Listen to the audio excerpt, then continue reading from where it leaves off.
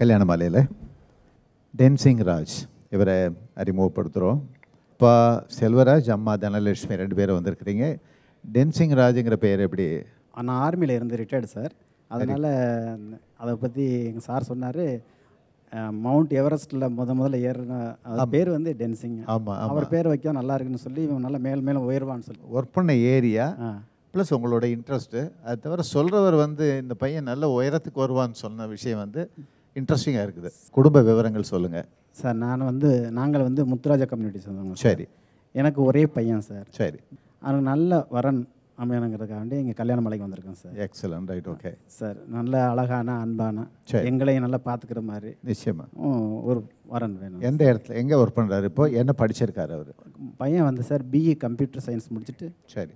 Software இன்ஜினியராக இருக்காரு மாஸ்கெட்டில் இருக்கார். சரி. இப் இப்போ கல்யாணம் பண்ணால் மஸ்கட்டில் இந்த பெண்ணுக்கு உடனடியாக போகிறதுக்கு சான்ஸ் சான்ஸ் இருக்குதுங்க சார். அவங்களுக்கு விசா கிடைச்சிருமா ஆ கிடைச்சிடும் சார். ரைட் கம்பெனி மூலியமாக கிடைச்சிடும் சார். போய் அங்கே போய் செட்டில் ஆகலாம். சரி. இல்லையா. ரைட் ஓகே சொல்லுங்க. அம்மா. வணக்கம் சார். வணக்கம். பையனுக்கு ஏற்ற மாதிரி பையனுக்கு பிடிச்ச மாதிரி நல்ல பொண்ணும் சரி. எங்கள் வீட்டு மருமகளாக நல்ல குணவதியாக வரணும் சார். நிச்சயமா. ம். கட்டாயம் அம்மா நீங்கள் கேட்குற மாதிரி ஒரு நல்ல பெண் உடனடியாக டென்சிங் ராஜுக்கு ஆமாம் சார். அவரோட அவரோட விருப்பத்துக்கு ஏற்ற மாதிரி ஒரு நல்ல பெண் மனைவியாக வந்து அமையணும்னு கல்யாண மாலை சன் டிவி நிகழ்ச்சி மூலமாக மனப்பூர்வமாக வாழ்த்துறோம். இந்த நிகழ்ச்சியில் வந்து கலந்துக்கிட்டீங்க. வாழ்த்துக்கள் வணக்கம். தேங்க்யூ எஸ் டென்சிங் ராஜ் வயது இருபத்தி ஐந்து. பிஇ சாஃப்ட்வேர் இன்ஜினியரிங் முடித்தவர் மஸ்கெட்டில் பணியில் உள்ளவர். இவர் பட்டதாரி மணமகளை எதிர்பார்க்கிறார். டென்சிங் ராஜ் பற்றிய விரிவான விவரங்கள் கேஎம் மேட்ரிமனி டாட் காம் வெப்தளத்தில் இவரது பதிவு எண் eight six one seven seven nine கல்யாண மாலையில் தாரிணி இவங்களை அறிமுகப்படுத்துகிறோம் வயது இருபத்தி நாலு கேஎம் மேட்ரிமோனி டாட் காமில் இவங்களது பதிவு எண் eight nine zero six zero one. BE பண்ணியிருக்கிறாங்க. கோயம்புத்தூரில் சாஃப்ட்வேர் இன்ஜினியராக ஒர்க் பண்ணிகிட்ருக்கிறாங்க டிகிரி முடித்து நிரந்தர வேலையில் இருக்கிற நல்லவர் தனக்கு கணவராக வரணும்னு எதிர்பார்க்குறாங்க. தாரிணியின் எதிர்பார்ப்புக்கேற்ற நல்லவர் அவங்களுக்கு கணவராக உடனடியாக அமையணும்னு கல்யாண மாலை மூலமாக மனப்பூர்வமாக வாழ்த்துறோம். கல்யாண மாலையில் அஸ்வின் இவர் அறிமுகப்படுத்துகிறோம் வயது முப்பது. கேஎம் மேட்ரிமோனி டாட் காமில் இவரது பதிவு எண் eight nine double one one three BE பண்ணியிருக்கிறாரு. சென்னையில் சாஃப்ட்வேர் டெவலப்பராக ஒர்க் பண்ணிட்டுருக்கிறாரு. டிகிரி முடித்த அழகான பெண் தனக்கு மனைவியாக வரணும்னு எதிர்பார்க்கிறாரு. அஸ்வின் எதிர்பார்க்கிற மாதிரி நல்ல பெண் அவருக்கு மனைவியாக உடனடியாக அமைந்திட கல்யாண மாலையின் மனப்பூர்வமான வாழ்த்துக்கள். BHK apartments, the Bloomingdale, Pammal Pallavaраthil from Appa Swami Real Estates. கடமையேச்சை பலனை எதிர்பார்க்காதே தமிழறிஞர் சாலமன் பாப்பையா தலைமையில் திண்டுக்கல் கல்யாண மாலை சிறப்பு பட்டிமன்றம் சென்ற வார தொடர்ச்சி பட்டிமன்ற நடுவர் தமிழறிஞர் அவர்களே இரண்டு அணிகளையும் சார்ந்த அறிஞர் பெருமக்களே இம்ஃபா அமைப்பை சார்ந்த பெரியோர்களே மிகச்சிறந்த பணி ஆற்றுகிற இந்த கல்யாண மாலையை இருபது ஆண்டுகளுக்கு மேலாக வழிநடத்துகிற திரு மோகன் ஐயா அவர்களே மீரா நாகராஜன் மேடம் அவர்களே பிரமித் நடராஜன் ஐயா அவர்களே இங்கே வருகை தந்திருக்கக்கூடிய பெரியோர்களே தாய்மார்களே இளைஞர்களே குழந்தைகளே சிறப்பு விருந்தினர்களே உங்கள் அத்தனை பேருக்கும் என்னுடைய அன்பான வணக்கத்தை முதலில் தெரிவித்துக் கொள்கிறேன். மிகவும் நெருக்கடியான நேரத்தில் நான் பேசுகிறேன். ஏன்னா இப்போது நான் என் கடமையை செய்யலாம். ஆனால் உங்கள் எதிர்பார்ப்பு என்னன்னு தெரியாமல் செய்யக்கூடாது. உண்மையிலேயே அந்த அணி பேசின பிறகு நீங்கள் எல்லாருமே நெகிழ்ந்துட்டீங்க. பல பேர் அழுதாங்க. டாக்டர்லாம் அழ வச்சிட்டார். வழக்கமாக ஊசி போட்டு தான் அழ வைப்பாங்க. பேசி அழ வச்சது இன்னைக்கு தான் நான் பார்த்துருக்குறேன். குரு ஞானாம்பிகா அவர்கள் வண்டு ரீங்காரம் இட்டது. இப்போ பேசினாங்களே மேடம் அவங்க அப்படி ஒரு கிண்டலாக என்னை ஆம குஞ்சு சாப்பிட்றாரா? நான் உண்மையிலேங்க எனக்கு அதுதான் முதல் படங்க. நான் அந்த படத்துலேயே ஒரே ஒரு இடத்துல தான் நடிச்சிருப்பேன். அது இந்த ஆமக்குஞ்சு எங்கேன்னு நான் பார்க்குறேன் பாருங்க அந்த ஒரே இடம்தான். நீங்கள் வேணா அந்த படத்தை திருப்பி பாருங்கள் அதுக்கு ஒரு காரணம் என்ன தெரியுமா? அங்கே எனக்கு இருந்த எதிர்பார்ப்பு தான் ஒரு நடிப்பையே உருவாக்குச்சு. உண்மை. எல்லாருமே சொல்லுவாங்க அந்த இடத்துல நீங்கள் நல்லா பா முகத்தை காட்டுவீங்கன்னு. மனுஷன் எதிர்பார்க்காம இருக்க முடியாதுன்றதை அந்த சீனே சொல்லுது. ஆமக்குட்டிக்கே அப்படி எதிர்பார்த்திருந்தா வேற எதுக்காவது இருந்தால் என்ன ஆகுங்க நிறைய பேசியிருக்கிறாங்க. குடும்ப கடமை. எதையும் எதிர்பார்க்காமல் நீங்கள் செய்கிறீர்கள் அல்லவா? அப்படின்னு பாரதி மேடம் அடுத்து வருகிறவர் பதில் சொல்ல வேண்டும். எனக்கு தான் என் ஊரில் சவாலாக வருது. ஒரே ஒரு விஷயம்தான். நான் எதிர்பார்க்காமல் என் கடமையை செய்யலாம். ஆனால் பசங்க எதிர்பார்க்குறானே? எதிர்பார்க்குறானா இல்லையா? அப்பா என்னம்மா அது வச்சிருக்கியான்றான். அவர் நூறு கோடி சேர்த்துருக்கிறாரு. இம்புடுத்தானான்றான். அப்படின்னா இந்த வாழ்க்கையில் எதிர்பார்ப்பு இருக்கத்தான் செய்கிறது. இதைத்தான் எங்கள் அணியில் சொன்னோம்னா எவ்வளவு ஒருத்தரை சாதாரணமாக நினைக்கிறீங்க நீங்கள் அவர் பென்னி குயிக் அவர் வந்து ஊரில் இருக்கிற சொத்தெல்லாம் விற்றுட்டு வந்து கட்டினாருங்க. அப்படி ஒருத்தர் மனுஷன் இருந்திருக்கிறார். அவங்களால நாங்கள் இல்லைன்னே சொல்லலை. இப்போ தண்ணி தானே திறக்க விட சொல்கிறேன் அதே திறக்க மாட்டேங்கிறாங்க. சார் ஓ சொத்தையே விற்க சொல்ல முட்டு தண்ணி திறந்து விடியான் பிரச்சனையாயிருந்தா தண்ணியே திறக்காத ஊரில் பெண்ணி குவிக்க பற்றி என்னம்மா லாபம்? காந்தி கிருஷ்ணமார் ஜெகநாதன். சரி அப்புறம் அந்த அம்மா ஏதோ சொன்னாங்க என் கடன் சொல்லி ஏழைக்கு இறங்குறவன் கர்த்தருக்கு கடன் கொடுக்குறான் அப்படியெல்லாம் சொன்னாங்க. உடனே அதுக்கு அவங்க ஒரு பதில் சொல்கிறாங்க இப்போ கடன்றது ஒரு பிரச்சனையே இல்லைம்மா. அது கவர்மெண்ட் தள்ளுபடி பண்ணுற விஷயம். இன்னும் ஒரு வாரம் எலெக்ஷனை தள்ளி போட்டிருந்தாங்கன்னா நீங்கள் பக்கத்து வீட்டில் வாங்கின பத்து ரூபாயை கூட தள்ளுபடி பண்ணியிருப்பாங்க காரணம் என்னன்னா எதிர்பார்ப்பே இல்லாமல் நாடு நடக்குதா இல்லையா? என்ன நாட்டில் என்ன சூழலில் என்ன பேசுகிறோம்னு பாரதி மேடம் வந்த உடனே சொன்னாங்க. வக்கீல்களை எதிர்த்து நான் பேசுவதில்லை. அது சொன்னதுலேயே ஒரு எதிர்பார்ப்பு இருக்குது ஏன்னா பேசினா வில்லங்க வரும். இவர் நல்ல தம்பி. பொதுவாக சொல்கிறேன் பேசுனா வில்லங்க வரும்ன்ற ஒரு எதிர்பார்ப்பு இருக்குது நீங்கள் எதிர்பார்ப்புன உடனே என்ன நினைக்கிறீங்கன்னா பாசிட்டிவ் மட்டும்தான் எதிர்பார்ப்புன்னு நினைக்கிறீங்க. நெகட்டிவாக ஏதாவது நடந்தாலும் அதுவும் எதிர்பார்ப்பு தான். உண்மையா இல்லையா அது? நான் ஒருத்தர் உன்னை பற்றி பேசுகிறேன் பேசினோடனே எனக்கு பின்னாடியே ஆள் அனுப்பிட்டாங்கன்னு வைங்க. சொல்லி கிள்ளி கொடுத்துறாதீங்கய்யா. அதுவும் எதிர்பார்ப்பு தானுக்கு இது எல்லாம் தெரியும் சார் கீதை உபதேசிக்கப்பட்ட இடம் எது? நேரடியாக கிருஷ்ண பரமாத்மா போர்க்களத்தில் சொல்கிறார் பாண்டவரும் கௌரவரும் நிற்கிறாங்க நடுவில் ரதம் நிற்கிறது அங்கே வந்து ரதத்தை நிறுத்திய அர்ஜுனன் இதோ இந்த பக்கம் பார்த்தால் ஆசிரியர் இருக்கிறார் உறவினர்கள் இருக்கிறார்கள் என்னோடு படித்தவர்கள் இருக்கிறார்கள். இவர்களையெல்லாம் போரில் கொன்றுவிட்டு நான் என்னத்தை சாதிக்க போகிறேன்னு சொல்கிறான் இந்த சூழலில் தான் கிருஷ்ண பரமாத்மா அவனை அர்ஜுனனை ஒரு சீடனாக ஏற்றுக்கொண்டு உபதேசிக்கிறார்.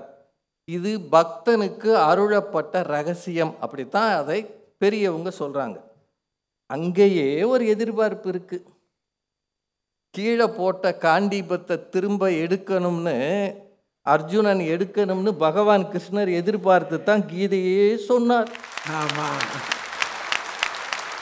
நான் பாட்டுக்கு கீதை சொல்கிறேன் நீ வில்ல போட்டுட்டு வீட்டுக்கு போன சொன்னாரு. வில்லின எடடா தம்பி வில்லின எடடா. அந்த புல்லியர் கூட்டத்தை பூழ்தி செய்திடடான்னு பாரதி சொன்னானே. இந்த வரிக்கு என்ன காரணம்? என்ன விஷயம் அது? சொல்லப்பட்ட இடத்திலேயே எதிர்பார்ப்பு இருந்தது. இல்லாட்டி இவ்வளவு காலம் அது பேசப்பட்டிருக்குமா? இப்போ ரெண்டாம் அத்தியாயத்தில் நாற்பத்தி ஏழு உனக்கு விதி ஐயா அழகாக சொன்னார் உனக்கு விதிக்கப்பட்ட கடமையை செய்ய மட்டுமே உனக்கு அதிகாரம் இருக்கிறது. அந்த செயல்களில் பலன்களில் உனக்கு அதிகாரம் இல்லை. அதானே? ஆனால் இதுக்கு முன்னாடி முப்பத்தி ஏழாவது ஸ்லோகத்தில் கிருஷ்ணர் சொல்றாரு குந்தியின் மகனே நீ போர்க்களத்தில் கொல்லப்பட்டால் வீர சொர்க்கத்தை அடையலாம். ஒருவேளை வெற்றி பெற்றால் இந்த உலகத்தை நீ அனுபவிக்கலாம். போர் செய்வது என்பது சத்திரிய தர்மம். அதனால் நீ உறுதியுடனே எழுந்து போர் புரிவாயாக. அப்படின்னா அவன் முன்னாடி ரெண்டு வைக்கிறாரு. ஜெயிச்சாலும் உனக்கு இது கிடைக்கும் தோத்தாலும் உனக்கு இது கிடைக்கும்னு அப்பவே என்ன பலன் வரும்ன்றதை சொல்லிட்டு தான் கீதையை சொல்லுகிறார். கடமையை செய் பலனை எதிர்பார்க்காதே. இன்றைக்கு சிரமமே. தொடர்கிறார் திரு ராஜா. வரன்களை அறிமுகப்படுத்திய பிறகு.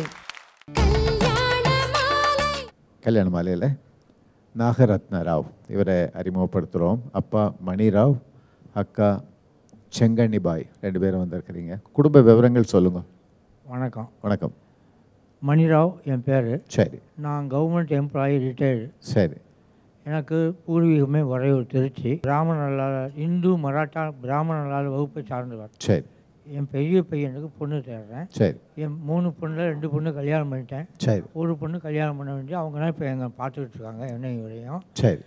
எங்களுக்கு வரக்கூடிய பெண் வந்து நல்ல குணமாக சரி. நல்ல அனுசரித்து போகிற ஒரு வகையாக இருக்கணும். ஓகே. எங்களுக்கு மருமகாலத்தில் நாங்கள் மகளாக தான் அதை பார்க்க போகிறோம் பார்க்குறேன். ரைட் ஓகே எங்களுக்கு எல்லா அடிப்படை வசதிகளும் இருக்குது இருக்கு ரைட் வர்ற பொண்ணு எல்லாத்தையும் அனுசரித்து குடும்பத்தை பார்த்துக்கிட்டா போதும். வெரி குட் சொல்லுங்கம்மா. என்னுடைய பிரதர் இவர். சரி. இவருக்கு எந்த கெட்ட பழக்கமும் கிடையாது. ஓகே. நல்ல ஹெல்பிங் டெண்டன்சி ஜாஸ்தி. சரி. எல்லார்ட்டையும் பிரியமாக இருப்பார். ஓகே. எங்களுக்கு வந்து நல்ல ஃபேமிலியை பார்த்துக்கக்கூடிய ஒரு நல்ல பொண்ணாக வேணும். ரைட் ஓகே வேற எந்த எதிர்பார்ப்பும் இல்லை. Very good right Nagarathna Rao. என்ன என்ன படிச்சிருக்கிறீங்க? என்ன பண்ணிட்டு இருக்கீங்க டென்த்து படித்து டிஓஏ படிச்சிருக்கேன். Okay diploma diploma diploma office management own business பண்ணுறேன் என்ன பண்ணுறது டெய்லர் ஷாப் வச்சு ஓன் டெய்லர் ஷாப் வச்சுருக்கேன். சேல்ஸ் அண்டு சுடிதார் மெட்டீரியல்ஸ் வாங்கி சேல்ஸ் பண்ணுறேன் ஓகே ப்ரோக்கிங் ஒர்க் பண்ணுறேன் ஸோ நல்ல ஏர்னிங் இருக்குன்னு நல்ல சொல்லுங்கள் earning இருக்கு. ஆ ரைட் ஓகே ஏன்னா டெய்லரிங் ஷாப்லாம் இப்போ டேஸ் நீட் ஆக்சுவலாக மேரேஜ் ஒர்க் ஃபுல்லாக வாங்கி செய்கிறேன் வெரி குட் அதாவது டிசைனிங் அண்ட் இதில் வந்து எக்ஸ்பர்ட்டாக இருக்கிறதுனால you have got.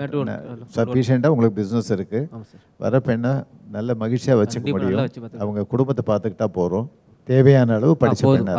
Right okay நிச்சயமாக நீங்கள் தேடுற மாதிரி ஒரு நல்ல பெண் கிடைப்பாங்க. சிறந்த மருமகள் வருவாங்க. இந்த நிகழ்ச்சியில் வந்து கலந்துக்கிட்டீங்க. வாழ்த்துக்கள் வணக்கம். Thank you sir thank you sir Nagarathna Rao வயது நாற்பது. டிப்ளமா முடித்தவர் திருச்சியில் சொந்த தொழில் செய்பவர். இவர் ஓரளவு படித்த மணமகளை எதிர்பார்க்கிறார். நாகரத்தின ராவ் பற்றிய விரிவான விவரங்கள் கேஎம் மேட்ரிமனி டாட் காம் வெப்தளத்தில் இவரது பதிவேன் double eight five two two three. கல்யாண மாலையில் ராஜ கணபதி இவரை அறிமுகப்படுத்துகிறோம் வயது முப்பத்தி நாலு. கேஎம் மேட்ரிமோனி டாட் காமில் இவரது பதிவு எண் double eight double nine nine five BE பண்ணியிருக்கிறாரு கோயம்புத்தூரில் அசிஸ்டன்ட் மேனேஜராக ஒர்க் பண்ணிகிட்ருக்கிறாரு டிகிரி முடித்த அழகான பெண் தனக்கு மனைவியாக வரணும்னு விரும்புகிறாரு ராஜ கணபதி விரும்புகிற மாதிரி நல்ல பெண் அவருக்கு மனைவியாக உடனடியாக அமைந்திட கல்யாண மாலையின் மனப்பூர்வமான வாழ்த்துக்கள்.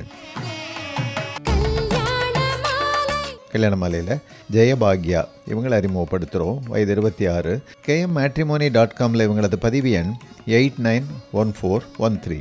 MTech பண்ணியிருக்கிறாங்க மதுரையில் இருக்கிறாங்க. ப்ரொஃபஷனல் டிகிரி வித் பிஜி முடித்து நிரந்தர வேலையில் இருக்கிற அருமையானவர் தனக்கு கணவராக வரணும்னு நினைக்கிறாங்க. ஜெயபாக்யா நினைக்கிற மாதிரி அருமையானவர் அவங்களுக்கு கணவராக உடனடியாக அமையணும்னு கல்யாண மாலை மூலமாக மனப்பூர்வமாக வாழ்த்துறோம்.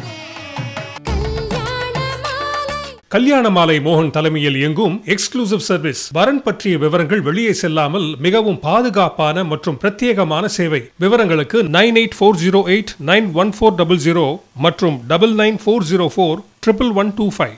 கடமையேச்சை பதனை எதிர்பார்க்காதே. தமிழறிஞர் சாலமன் பாப்பையா தலைமையில் திண்டுக்கல் கல்யாண மாலை சிறப்பு பட்டிமன்றம் தொடர்கிறது. சார் இம்பாவினுடைய எதிர்பார்ப்பு என்னங்க? இம்பாவுக்கு ஒரு நோக்கம் இருக்கா இல்லையா? இன்பமான அப்பா அம்மா. அதுதான் இம்பாவுக்கு ஒரே ஒரு குறிக்கோள். சொன்னாரா இல்லையா? சொன்னார். இப்போ இன்பாவே குடும்பத்துக்கு இன்பமான அப்பா அம்மா வேணும்னு சொல்லி தானே இருக்கு. எந்த ஒரு அமைப்புக்கே ஒரு எதிர்பார்ப்பு இருந்தால் இந்த கூட்டத்துக்கு இவ்வளவு பேர் எதுக்கு வந்தீங்க? ஒரு எதிர்பார்ப்போட தான். அப்புறம் அவங்க அந்த குரு ஞானாம்பிகா நதியின் கடமை அப்படியே போவது காற்றின் கடமை இங்கெல்லாம் சுற்றி வருவது. இதெல்லாம் கடமை கிடையாதுங்க. இது இயல்பு. இயல்பு வேறு கடமை வேறு. நதியின் கடமை போறதுன்னா அணை கட்டினா உடச்சிக்கிட்டு போகணும் எனக்கு அணை கட்டுகிறாய் உடைப்பேன். அதுதானங்க கடமை. கடமை வேறு இயல்பு வேறு. அப்புறம் அவங்க சொன்னதுல எனக்கு ரொம்ப பிடிச்ச இடம்னா கொலம்பஸ். அமெரிக்காவை கண்டுபிடிக்க வேண்டும் என்று எதிர்பார்த்தா கடமையை செய்தார். இல்லைம்மா அவருக்கு இந்தியாவை கண்டுபிடிக்கணும்னு நினைச்சாரு. அது ஸ்லிப் ஆகி அமெரிக்கான்னு போயிடுச்சு. அப்படின்னா உங்கள் எதிர்பார்ப்பு ஸ்லிப் ஆகும். ஆனால் ஏதாவது ஒன்று கிடைக்கும். எதிர்பார்ப்பு இல்லாமல் கொலம்பஸ் போனார். பெரிய ஒரு அரசன்கிட்ட போய் பணத்தை வாங்கிட்டு அவ்வளோ பெரிய கப்பல் பயணம். அந்த காலத்தில் கப்பல் பயணம் போகிறது வெறும் கேம்பஸ் வச்சுக்கிட்டு போனோம். இன்றைக்கி நம்ம ஜிபிஎஸ் ஊருக்குள்ளே போகிறதுக்கே கேம்பஸ் வச்சுருக்கிறோம் ஜிபிஎஸ்ன்ற பேரில். போனானா இல்லையா? ஏதோ ஒரு எதிர்பார்ப்பு. இந்தியாவுக்கு கடல் வழியை கண்டுபிடிக்க வேண்டும். எதிர்பார்ப்பு இல்லாமல் எவனும் இல்லை. இல்லை கடமையை செஞ்சாங்க. அவர் பெரியவர். ஏன்னா ஐயா வந்து அவர் பார்த்தீங்கன்னா இன்னைக்கு ரொம்ப உருக்கி இருக்கிறார். திணையரிசி. அது வந்ததுனால் நானும் அதற்கு திணை அளவு அது ரொம்ப உண்மையில் சொல்கிறேங்க இது இந்த நிகழ்ச்சிக்காக சொல்லலை. தமிழ்நாட்டில் மறந்து போன சில விஷயங்களை நினைவுபடுத்திய பெருமகனார் சிவராமன் அவர்கள். இதையே எங்கள் பாட்டி சொல்லும்போது நீ எல்லாம் ஒரு ஆள். இதை மனுஷன் சாப்பிடுவானா இன்னைக்கு ஐம்பது பேர் சூப்பர் ஸ்டார் வரைக்கும் அதான் சாப்பிட்றாங்க. இதை நினைவுபடுத்தியவர் அதில் அவர் பங்கு ஒன்றும் இல்லாமல் இருக்கலாம் ஆனால் இன்றைக்கு ஒவ்வொருவரும் உடம்பை சரியாக பார்த்துக்கணும்னா திணை சாப்பிட்டா உடம்பு சரியாகும்னு ஒரு எதிர்பார்ப்பு இருக்கா இல்லையா டாக்டர்? சரி வேற ஒன்றும் வேண்டாம். பசி வந்தால் சாப்பிடணுன்றது நமக்கு கடமைங்க இல்லைங்களா? ஆனால் ஏன் இதை சூஸ் பண்ணி சாப்பிட அதை சூஸ் பண்ணி சாப்பிடுன்றோம்? ஏன்னா ஒவ்வொரு உணவுக்கும் உள்ளுக்குள்ளே போய் என்ன பண்ணணும்னு ஒரு எதிர்பார்ப்பு இருக்குது இந்த பதினோரு மணிக்கு பிறகு போய் பிரியாணி சாப்பிட்டீங்கன்னு வைங்க. கொஞ்சம் ராத்திரி தூக்கம் வராது. அப்போது ஒரு செயலுக்கு இன்னொன்று விழையும் என்கிற எதிர்பார்ப்பு இருக்கா இல்லையா? குருஞான நம்பிக்கை ரொம்ப நல்லா பேசுனாங்க. பெருமாள் சங்கெடுத்து ஊதுனாதான் மழை பெய்யும். அவங்க சொன்ன கதை தானுங்க அப்படின்னா சங்க எடுத்து ஊதுனா என்ன எதிர்பார்ப்பு? இருக்கா? ஊதலைன்னா ஒரு ஊரில் மழையே பெய்யலை காரணம் பெருமாள் சங்கெடுத்து ஊதல். அதானுங்க உங்கள் கதை. இப்போ அதனால் அந்த ஊருக்காரங்கள வேற ஊருக்கு போயிட்டாங்க. இப்போ என்னோட கேள்வி என்னென்னா பெருமாள் சங்கெடுத்து ஊதுனா ஒரு ஊரில் மட்டும் மழை பெய்யுமா? இல்லை உலகம் முழுக்க பெய்யுமா? பெருமாள் என்பவன் உலகளந்த பெருமாள். அவன் இங்கே நின்னாலும் இந்த அவன் வாயை திறந்தா உலகம் தெரியும்னா இங்கே ஊதுனானா எல்லா இடமும் தெரியுமா இல்லையா? ஆமாம் நிச்சயமா. இப்படிலாம் கதை சொல்லித்தான் எல்லா எதிர்பார்ப்புகளையும் ஒன்றுமில்லாம ஆக்கிறது. சமயம் இப்படியெல்லாம் சில விஷயங்களை நமக்கு சொல்லி நம்மளை பக்குவப்படுத்தும். அதை எடுத்து வச்சுக்கிட்டு நீயும் அப்படி இருன்னு அந்த உலகத்தில் உள்ளத்தனையது உயர்வு நானே திருவள்ளுவன். உயர்வு என்பது உன் உள்ளத்தில் நீ உள்ளுவது உள்ளுவதெல்லாம் உயர்வுள்ளல் அது எங்கிருந்து வரும்? எதிர்பார்ப்பு இருந்தால் தானே வரும். சரி இவங்க என்ன நினைக்கிறாங்கன்னா இப்போ ஒரு விஷயங்க. கடமையை செய் பலனை எதிர்பாராது. இது சிரமம்னு நாங்கள் சொல்கிறோம் அவங்க சாத்தியம்ன்றாங்க. உங்களுக்கு தெரியுமோ? கடமையை செய்யாமலே பலன் வருது இங்கே.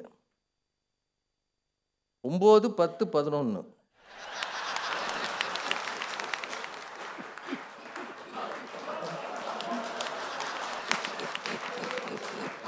ஒரு பய பரிச்சை எழுதலை.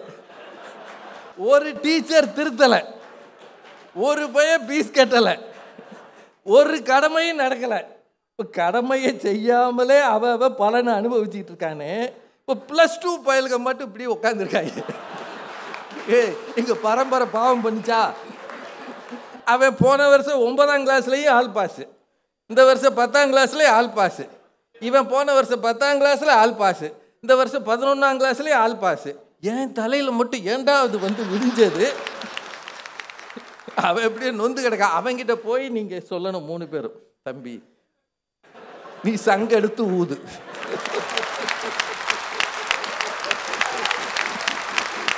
கடமையை செய் பலனை எதிர்பார்க்காதே. இன்றைக்கு சிரமமே. கலகலப்போடு தொடர்கிறார் திரு ராஜா. அடுத்த வாரம். ஐயாவோட நான் ரொம்ப காலம் பயணம் பண்ணியிருக்கேன். சாப்பாடு இல்லாமல் நிறைய இடத்துல இருந்திருக்கிறோம். மோகன் சாருக்கு தெரியும். தெருவில் துண்டை விரித்து உட்காந்துருக்குறோம் பஸ் ஸ்டாண்டில். சில இடங்களில் நிகழ்ச்சி முடிஞ்ச பிறகு முடிகிறது கொஞ்ச நேரம் முன்னாடியே அமைப்பாளர் காணா போயிடுவார். மேடையில் தான் அறிவாளி மாதிரி பேசுகிறாங்க இந்த ஊர்லேயே இருக்கிறதுல அயோக்கியனை நம்பி இவங்க ஒரு டீமாக வந்திருக்காங்க பாருங்க. அப்படி வந்ததன் விளைவு தாங்க இன்னைக்கு தமிழுக்கு பத்மஸ்ரீ கிடைச்சிருக்கு.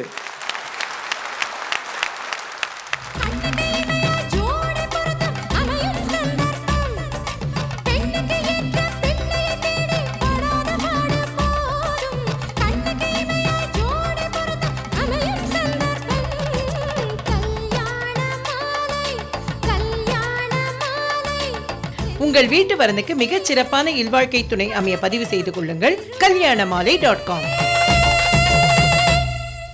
கல்யாணமாலை புது office address number sixteen doctor Nair road T Nagar Chennai seventeen மேலும் விவரங்களுக்கு two four three four one four double zero